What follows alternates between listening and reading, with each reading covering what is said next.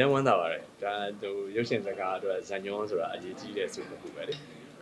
ရုပ်ရှင်စကားဖြစ်လာဖို့တော့အရေးကြီးဆုံးကဇန်ညွန်းဖြစ်တဲ့အတွက်ဇန်ညွန်းဆိုချင်းမြင်ခံရတာပါဟုတ်ကျေးဇူးအများကြီးတင်ပါတယ်ကျွန်တော် Academy ရုပ်ရှင်နဲ့မြင်ချင်းခဲ့ကြတဲ့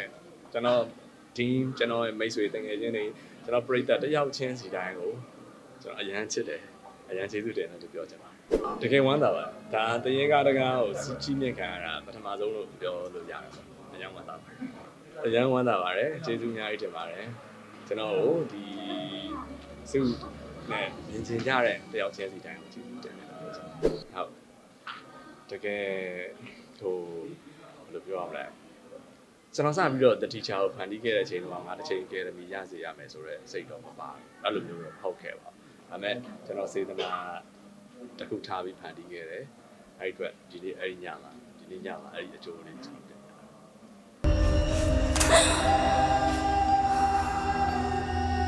အောင်သူ့ဟာလက်ထောက်မရဘူးအရင်မှသာပါတယ်ကျွန်တော်ပြေးကိုအရင်ပြေးရအောင်အာပြေး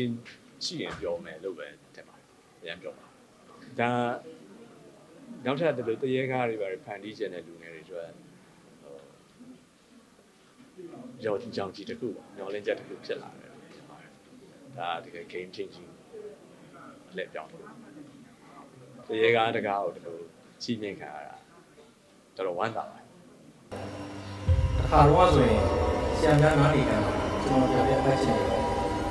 နောက်မှဆရာမပြောတော့